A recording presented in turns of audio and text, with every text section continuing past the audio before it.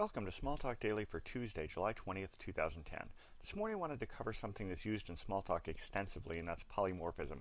In this case, the kind of polymorphism that I use in BottomFeeder is a good example of things that people do quite a lot.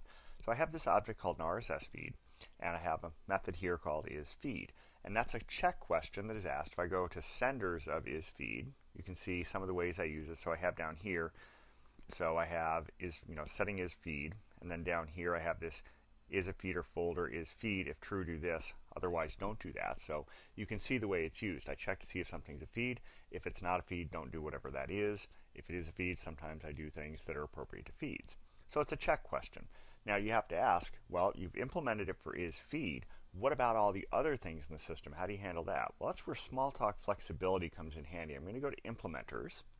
And over here you'll find that I've got an implementation in object. Is feed is false.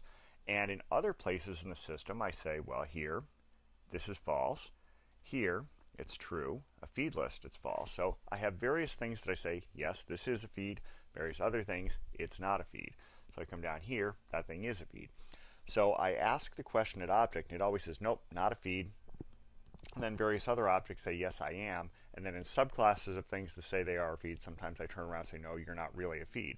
So that means I can do this kind of check all over the system. And this is polymorphism in action. And it's the way it's done in Smalltalk quite a lot. Now, it's come up before the question that, well, this doesn't work and play well with other implementations. What if two or three people write code that tries to merge together into one application and everybody's implemented their own version of isMumble? Well, for one thing, that's not that common. And for another thing, that's what testing is for.